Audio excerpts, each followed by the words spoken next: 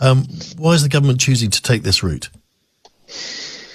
I mean, I think the kind of short answer is it is they're out of ideas, so they're repeating some previous mistakes. You know, we we also know that the financial sector is the biggest the biggest lobby group in the country, so they have the most influence over over government, over um, what policies happen. Uh, we actually released a report earlier this year called The Power of Big Finance, and we highlighted various ways in which we, in which the financial sector uh, influences Westminster, direct financial ties, lobbying access, and the revolving door it maintains with the public sector.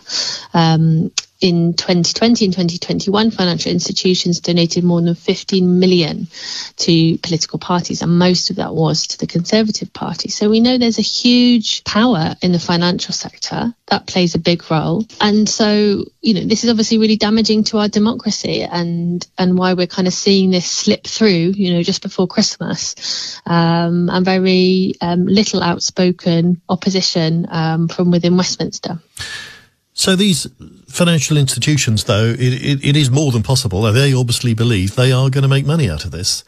Um, and and uh, what's your case then that, that this is not going to help the, the wider population?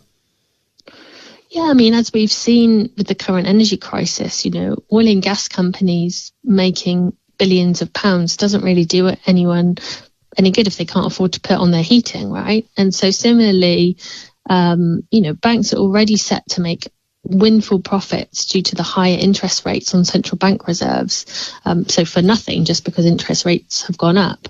Um, at the same time, millions are struggling. And, um, you know, the, the government keeps um, talking about its concern you know, for every every member of the country, uh, every member of the public. But actually, by deregulating the banking sector, by allowing them to continue with windfall profits, we're taking um, things in the wrong direction uh, on on tackling the cost of living and creating a fairer uh, and more green economy.